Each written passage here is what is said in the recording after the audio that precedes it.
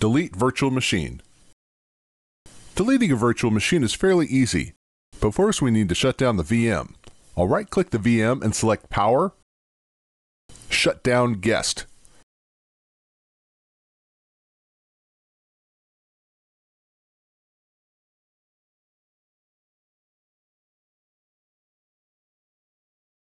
To delete the VM, all we have to do is right-click on that virtual machine, and we have two options. We can just remove it from inventory, or we can delete it from disk. And when we delete it from disk, this actually deletes all of the virtual files. So let's remove it from inventory in this example. And all this does is it removes it from the list, but it doesn't delete the files. So if we want to re-add it later, we can. So I'm going to click Yes.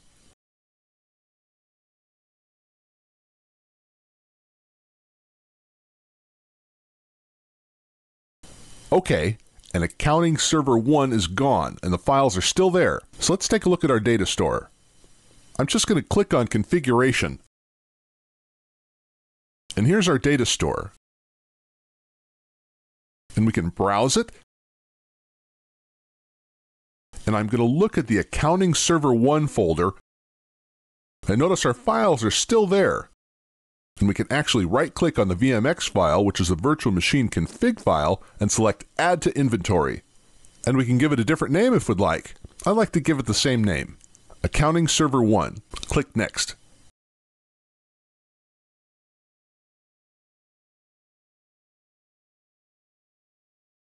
I will drop that VM in the testing servers pool and click Next. And finish.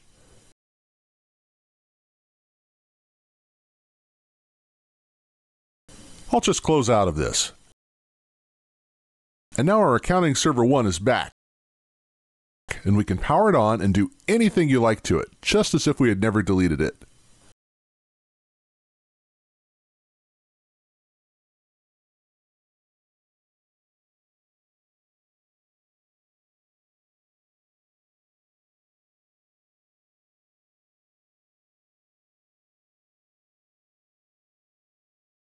But if we want to delete all of the files associated with it, we shut down the VM and then we can select Delete from Disk.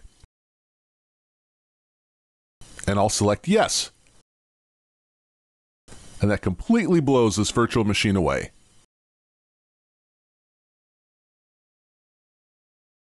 And I'm actually going to click on Configuration. And here's our data store. And we can browse it and I'm going to look at the Accounting Server 1 folder on our data store, and we can actually see that everything is gone. Its folder's gone as well, so if we didn't back it up, it's gone for good. Be cautious after VM is deleted from a host. There's no way to recover it if there's no backup copy. So that's how you delete a virtual machine. Did you know that after watching our videos, you can sign up for a week of remote access to our VMware lab? It's custom built and allows you to actually practice on enterprise-grade VMware servers and storage. VIadmin.com provides a remote server environment or VMware practice lab composed of vSphere Ready Lab servers for class or individual use. You can sign up at www.viadmin.com for access to the lab. You get one dedicated server with lots of memory, plenty of network cards, co-training servers in a cluster, two shared SAN management station, and a KVM controller to manage your server. Within the VMware lab, you can set up any scenario including multipathing, high availability, vMotion, fault tolerance, DRS, create 10, 15, or more virtual machines, and test all of the VMware advanced features. One more thing, we have an instructor-led vSphere training consisting of live mentoring, e-labs, and e-lectures, all delivered online.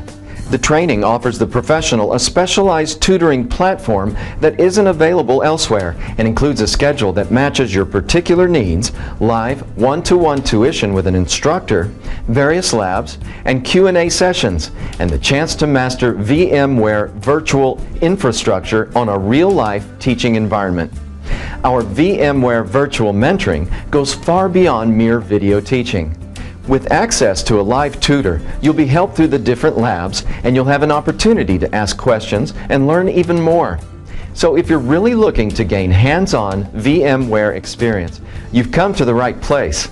Sign up for VMware Lab, self-managed access, or join one of our instructor-led trainings today.